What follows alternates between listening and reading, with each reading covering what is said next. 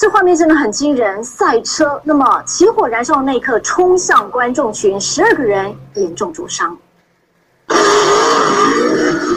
汽车短距加速赛，蓝色轿车在场内旋转，冒出大量烟雾。下一秒，